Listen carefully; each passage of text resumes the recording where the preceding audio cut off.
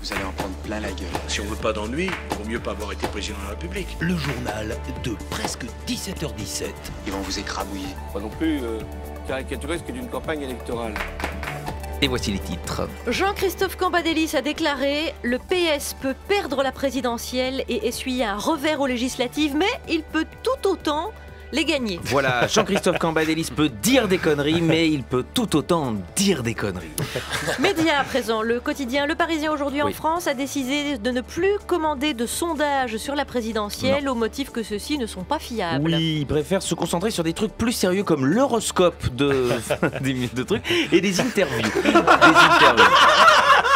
Je peux bien dire C'est pas... J'étais concentré. Ils se sont moqués de moi. Ça, c'est les collègues. pas. En tout cas, il y aura des brèves. Oui, bah, que je suis le, pas le parisien. On garde les brèves.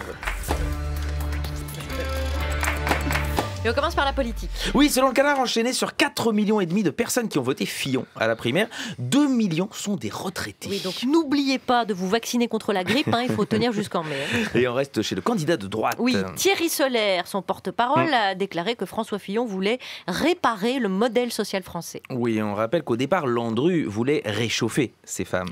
Elles étaient frileuses.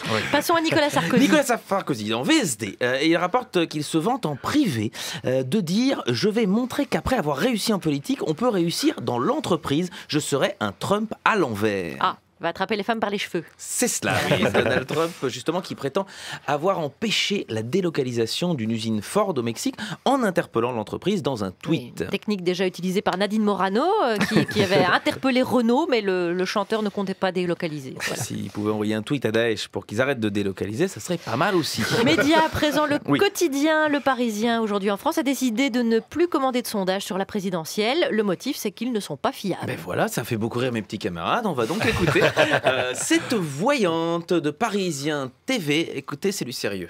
Bonjour, je suis Véronne Garnier, médium clairvoyante, et je vais faire les prédictions pour l'année 2017. Ça peut pas être pire que les sondages, alors euh, eh ben, on va tout de suite à l'essentiel. Qui va la gagner?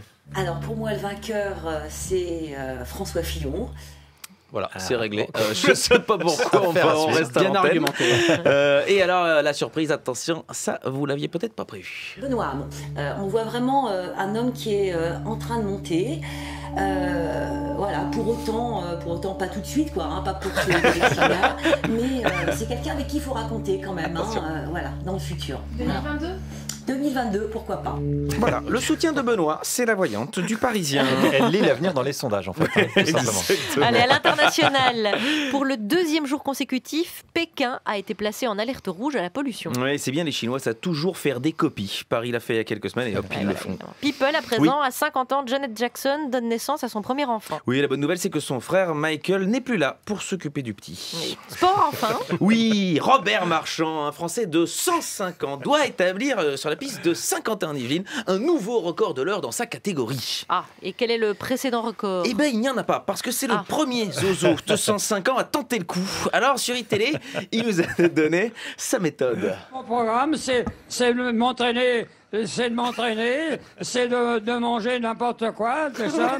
J'ai vra- j'ai vraiment pas, vraiment pas de programme, ça. Je mange n'importe quoi.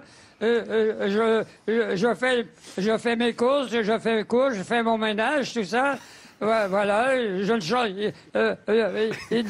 il faut, s'entretenir. Il faut, faut pas rester vos muscles euh, en repos complètement. Il faut toujours les mettre en mouvement. Ouais, voilà.